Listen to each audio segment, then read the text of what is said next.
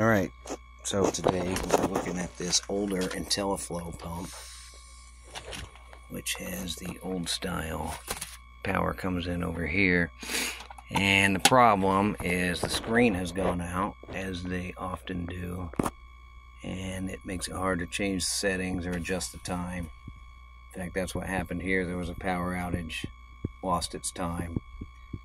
Service guy can't uh, change it they want to replace the screen. You hate to tell people they need a new pump or even a new drive because it's really just the screen. Pentair does make a screen replacement, uh, but unfortunately for this older model, it's not a direct replacement.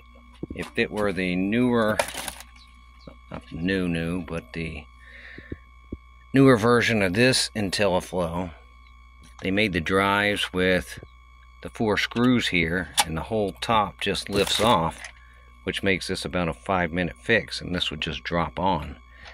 But this one is not made like that. This one is a little bit different. One problem we have initially is just getting this top off.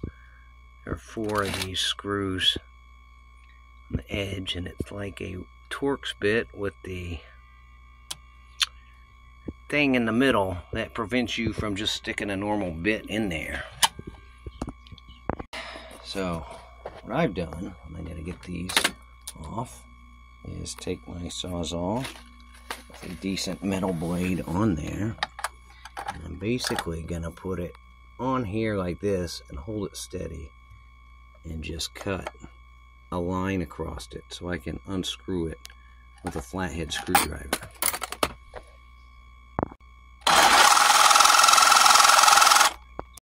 So basically, I've just cut it across right there, made a little slit. Then I'm going to take a beefy flathead, stick it in the cut I just made, and spin it out. Get it loosened, and I am just going to go ahead and pull that out. Set it aside because I think I am going to have to reuse it. I'm going to do the same thing for these other three screws. I got those three loosened. Take that off, set it aside. And now my top piece will lift up and is semi-accessible.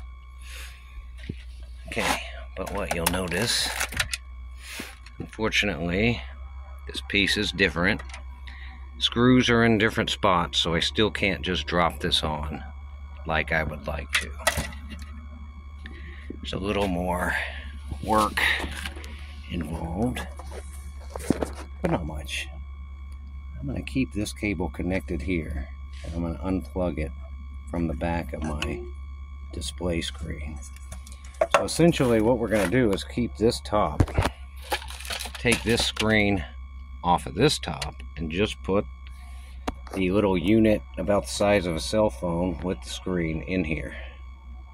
So I'm just going to take a little screwdriver, take out these two little screws that hold my, I don't know, serial cable connection in, whatever you call that. Once I get these two screws loosened, this will just pop out. And there we have that. I'm just going to take a Phillips screwdriver or drill bit and remove these four screws, which is basically the bracket that holds the screen piece into place here. I've got these four little short squatty screws removed. These are now loose. I have a piece that slides in here so I'm going to push this down. And then it just lifts out. And it's got this little bracket that connects. You slide it up. And this one will also pop out of there. Just lifts out. Put them with my screws. And that, my screen is free and should come away from the housing. And then I am left with just the screen and the controller backing. Like I said, it's about the size of a cell phone. On this one, you have the three screws that, on this one, were three long Phillips screws that held the drive to the motor. These three are shorter, and there are some small Torx screws. So we're going to take our little Torx bit and take these three screws out. Those three screws are out. This just lifts off now. Put that aside. I have disconnected already. This was plugged in. I just undid the two screws and pulled out this connector because we don't need it. We're going to use the old one over here. I'm going to put that aside. Now we're pretty much loose and we just got to peel this off and lift it out. Some glue around the outer edges. And that's okay. So we got our new screen.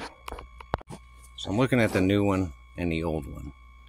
And there is still a little bit difference.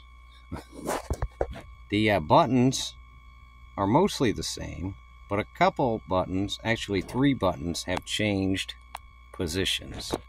On the old one, the enter button is in the middle.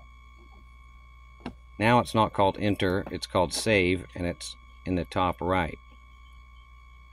Top right used to be escape or back, but now it's moved over here. And this middle one here, select, select was here on the old one.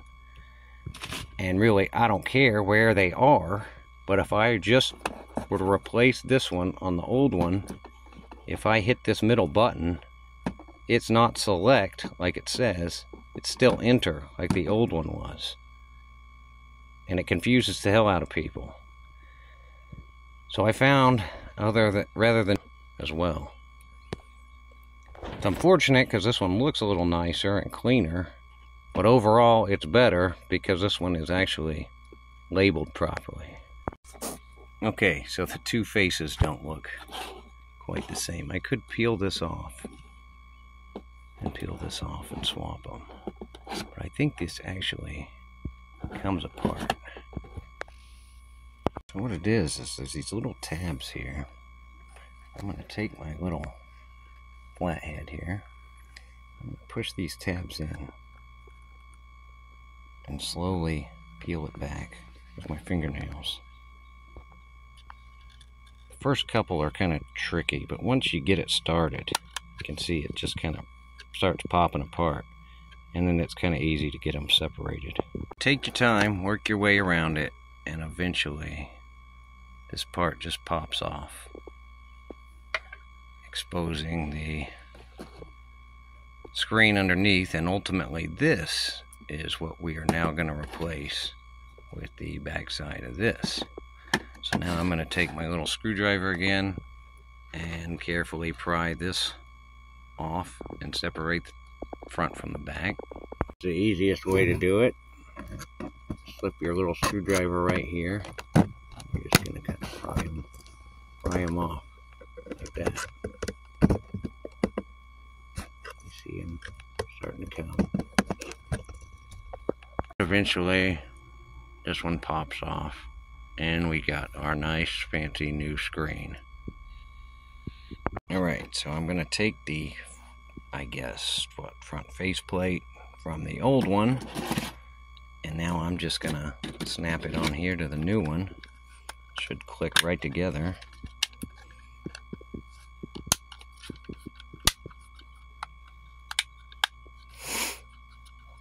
Okay, now we're good. Set that aside. Got my little gasket thing. Go ahead and slip back around here.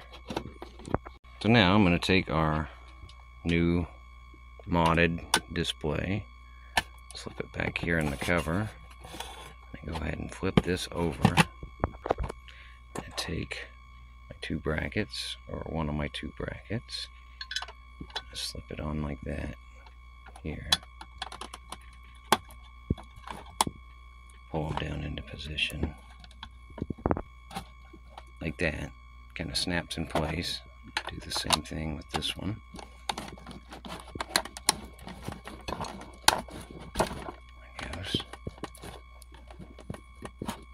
There.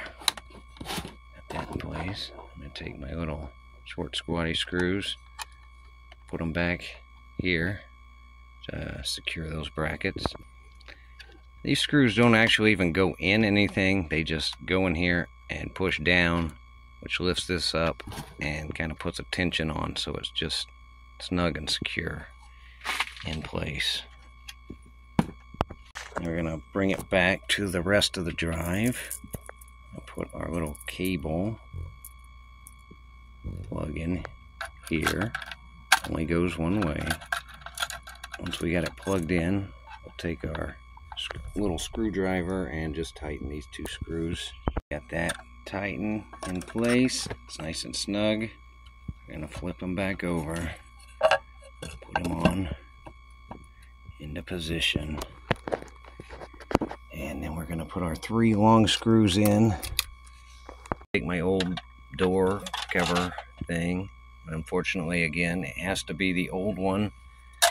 I would like to use the new one because it, you know, visibly looks better, but it's made different.